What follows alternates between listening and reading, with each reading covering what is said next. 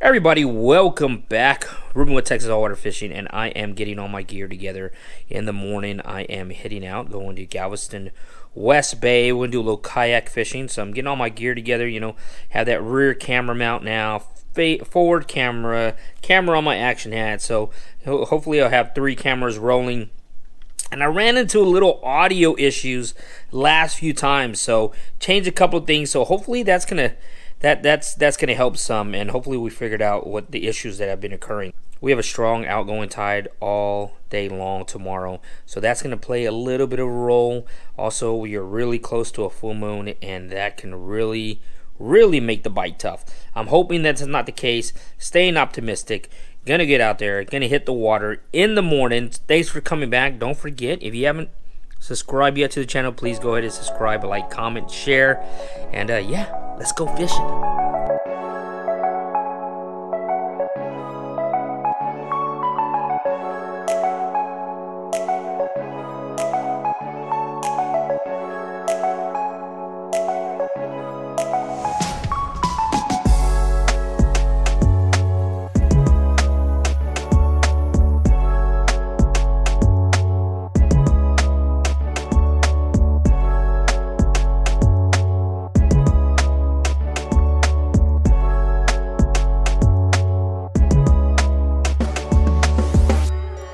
We're gonna start the morning off fishing with a little bit of tandem.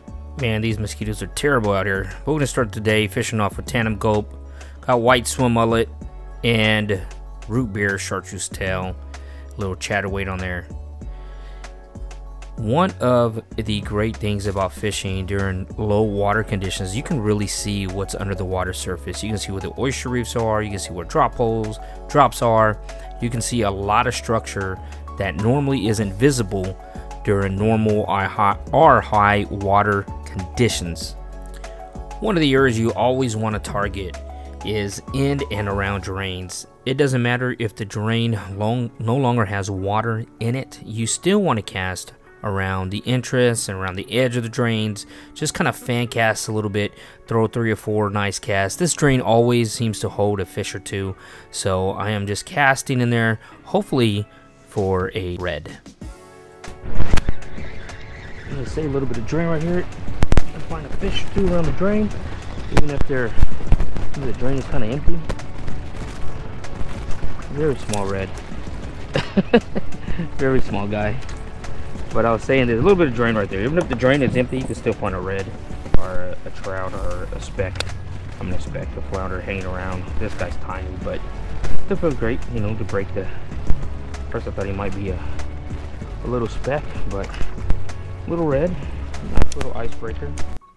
I've been casting and casting throughout the morning with the tandem gulp and I'm not getting the results that I really am hoping for. So quick loop knot and I'm gonna put on this Vudu Shad. Vudu Shad is kind of like my one of my go-to lures. It's a search and destroy lure, if you will, especially for reds. I have reds on the brain. I also have a chatterweight on here, 20 pound fluorocarbon leader line, and I'm gonna get after it and see if I can really intrigue a red to bite. One of the things that I am incurring that is really plaguing this trip, not only is it the mosquitoes, but it's also the snot grass. It is that time of year. Almost every cast, I'm getting a lot of snot grass. So I'm almost just retrieving, straight retrieving my lure. I'm almost straight retrieving a little faster than what I normally would like, just to try to keep myself out of the grass. This snot grass is killing me, but the reds are here. They're boiling all around me. I've had a real solid hit, but it just wouldn't hang on. It spit my hook. I'm really lathering on this Pro Cure. I'm trying to get a reaction strike. I'm just trying to get them to just get a reaction strike so I can set the hook. Just straight retrieving, fan casting this entire area. I'm surrounded by them. I just can't get them to cooperate. They have lockjaw, and that happens a lot. That happens a lot when you are around a full moon and they're feeding all night. But I'm not deterred. I'm gonna fight the mosquitoes. I'm gonna fight the snot grass, and I'm gonna hook into a fish. My line feels heavy again. Kind of feels like snot grass. I'm just let the lure fall down to the bottom and set my hook. Oh, there we go. Yep, yep. It's flatty. It's a flatty. Got a flounder. Oh, come on. Dang net. Come on, come on. He ran at me a little bit, trying to hurry up and net it. Don't want to lose it. Finally have a fish on. I'm freaking out. Oh my gosh. I'm like a newbie. I'm a newbie over here. Oh yeah, there he goes. Nice little flatty. He might be legal. Get in the net. There we go. We got him. Got him on deck. Man, I missed that up. I try to miss that up as much as possible. That is too funny. I got the first shake jitters all over again.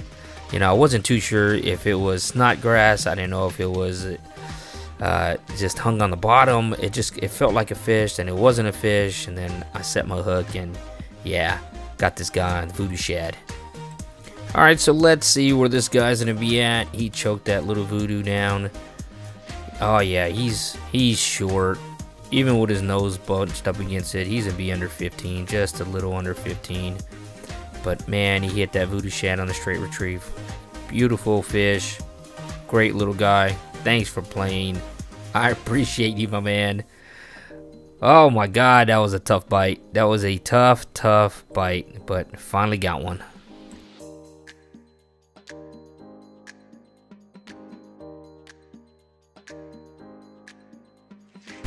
You know, so that was kind of funny, you know, fishing for reds and, and caught a caught a flatty, caught a flatty, little guy. But yeah, this Egret Baits, man, you know, the Egret Baits makes a lot of great lures, and the Vudu Shad is is just one of the few of their lures that I really like. Fan in this area is still looking for a small red, slot red, maybe another flounder. Just fan casting and working the area you know, with that Vudu Shad. Oh, wait, that's a little heavy. Yeah, that feels like a fish. Kind of feels like a fish now. Check the camera. Camera's rolling. All right, let's set that hook. Fish on.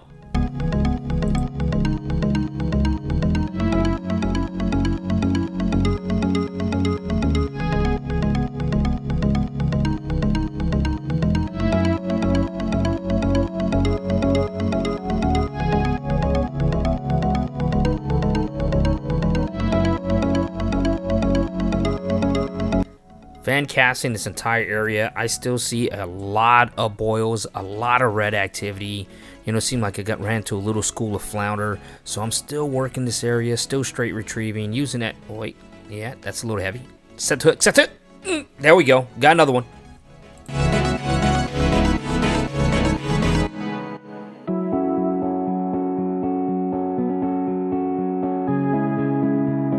He's a little bigger, but he's still going to be under 15, I think. Yeah, we're going to let this we're going to let this little guy make it, but it is fun to catch him.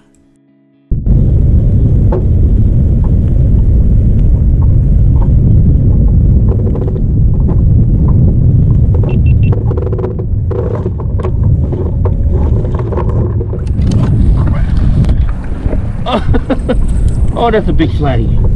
Oh my gosh, that's a big one. Oh my god, that's a big one. Oh my god, that is a huge one. See if we can get him up here. Oh my gosh, come on. Go. Oh, oh yeah. Just cast with the other other one because I said, you know what, let me maybe it's maybe it's maybe the reds just aren't really picking up that Vudu Shad like the way the flounder are. So let me let me put the 10 coat back on. Let me cast with it. It's already on. Let me cast with it with the other rod and uh, see if I can get a red react to that because they're not reacting not really committing they're kind of they're kind of bumping and nipping not committing so I just that was literally my first cast. And again straight retrieve not on bottom. Straight retrieve and I just felt a solid bump. I wasn't even recording but I just felt a solid bump. And then uh, this guy is is on. Nice. Big big big flounder. He's not. I mean, he's, he's not huge, but compared to what I have been seeing, he's a uh, he's very big. oh my goodness, she's very big rather. Nice female, nice big girl. Look at this girl. Look at that girl. She's big.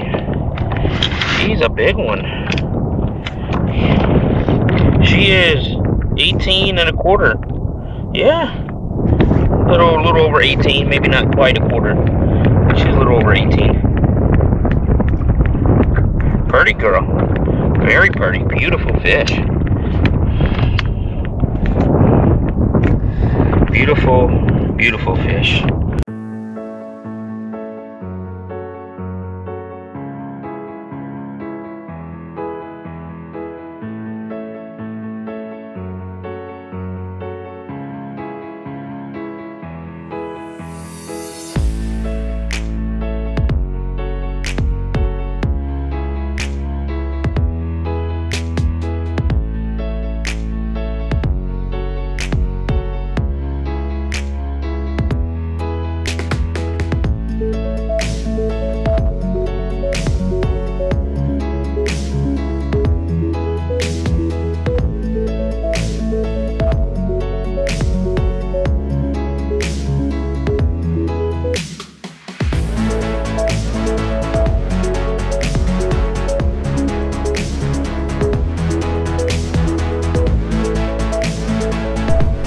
Well, that is going to do it today. You know, I, I, I reviewed some of the footage and I'm still having the audio issues. I think I've narrowed it down now, so forgive me. Had to be a little creative in the editing process of this video. But you know, I mean, it is what it is. You know, sometimes you have to make lemonade. You know, life throws lemons at you, throws curveball. You got to be creative. Got to do what you got to do. Uh, you know, that Vudu Shad was really working it. It was really doing its job. Um, the reds just weren't cooperating. They were there. They were out there. They just had lockjaw, and that happens. It happens. You get around a full moon, you know, the reds will eat all night, and we've had very clear skies. So they, the the the water has been lit, and they could see the bait. They're feeding, and uh, yeah, they just don't want what I was throwing. But it's all good, you know. Had a good time. Had a great time. Getting my gear together now. Heading out in the morning. Do a little boat fishing. Jump with Captain Charles. Jump in Captain Charles's boat. We're to go and chase some specks. Chase some reds. Hey, you know me. I'm never to shy away from a flounder, right? But thanks again, guys. Don't forget, like, comment, subscribe, share. And until next time, I hope you catch me. Hook it up.